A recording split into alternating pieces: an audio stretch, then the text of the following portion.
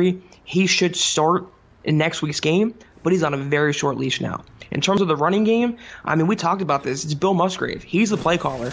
He's behind this this offense. Why you don't stick with the run? Why you don't ride your hot hand when you know your quarterback is struggling? It's just um, I don't have any, any explanation other than the fact that the Broncos paid Keenum all this money and they want to try to justify their investment, and it hasn't paid off for them so far. And